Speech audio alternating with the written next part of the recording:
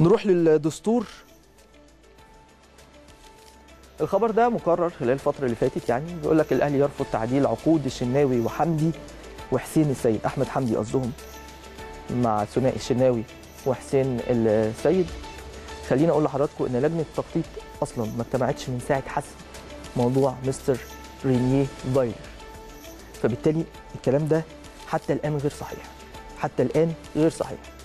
لكن عشان نبقى منطقيين برضه مع حضراتكم. ربما يكون في مخ- مخيلة لاعب من لاعبي النادي الأهلي انه نفسه يزود عقد شوية. حقه كل واحد بيقدر نفسه ماديا بالشكل اللي بيشوفه ما فيهاش مشكلة. لكن أنا أيضا واثق جدا في مدى إدراك لعيبة النادي الأهلي على أهمية هذه المرحلة. إن المرحلة دي مش مرحلة الكلام في ماديات خالص. المرحلة دي عايزة إسعاد جمهور الأهلي. إزاي؟ من خلال الماتشات سواء بقى محليا أو افريقيا.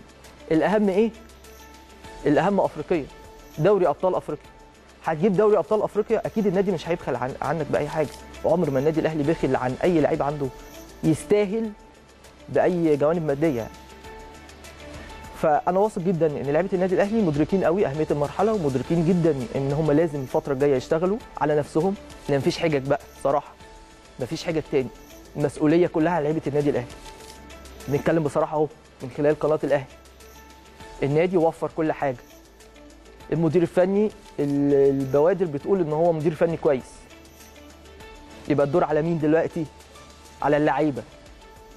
لازم يكون عندكم الشخصية اللي الطبيعي المفروض إن هي بتبقى عندكم. وشفناها على مدار فترات كتيرة وفترات صعبة وحاسمة. ان أنتوا تقدروا تجيبوا بطولة دوري أبطال أفريقيا لجمهور النادي الأهلي. لأن الجمهور فعلا فعلا متشوق للبطولة دي. فخلاص الكلام في ماديات مش وقته مش هي دي المرحلة. هتيجي المرحلة المناسبة اللي تتكلم فيها في الماديات اللي انت عايزها. ده لو الخبر ده صح يعني. تمام؟ لحد اللحظة دي خبر ده مش صح. طيب دي كانت أخبار الأهلي في الصحف. لسه في أخبار عن النادي الأهلي في المواقع نروح نشوفها